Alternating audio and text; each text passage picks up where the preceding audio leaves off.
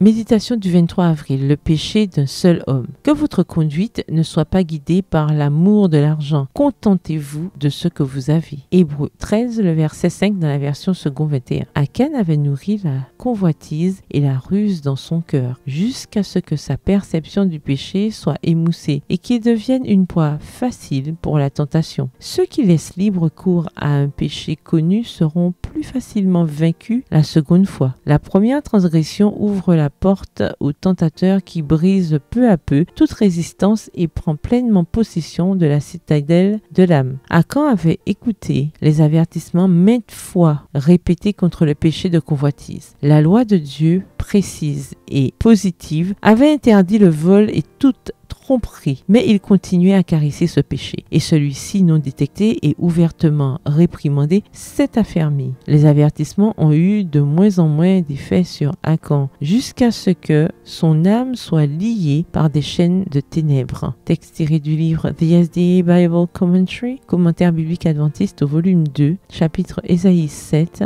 à la page 297. La honte, la défaite et la mort s'abattirent sur Israël à cause du péché d'un seul homme. Cette protection qui les avait couverts pendant la bataille leur fut retirée. Des péchés caressés et pratiqués par les soi-disant chrétiens attirent le mécontentement de Dieu sur l'Église. Ce que l'Église doit redouter le plus n'est pas l'influence de ses opposants déclarés, des infidèles ou des blasphémateurs, mais celle des soi-disant disciples du Christ. C'est eux qui font obstacle à la bénédiction du Dieu d'Israël et qui affaiblissent l'Église, un mal qui ne s'efface pas facilement. Le christianisme ne doit pas simplement être exhibé le jour du sabbat et affiché dans le sanctuaire.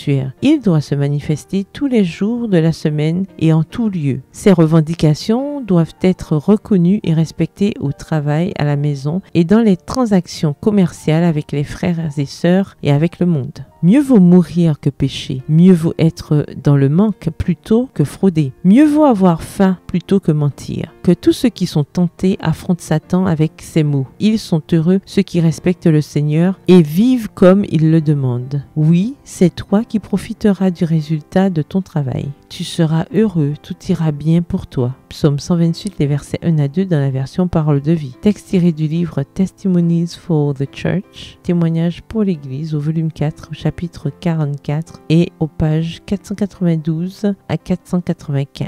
Bonne soirée, que l'Éternel vous bénisse.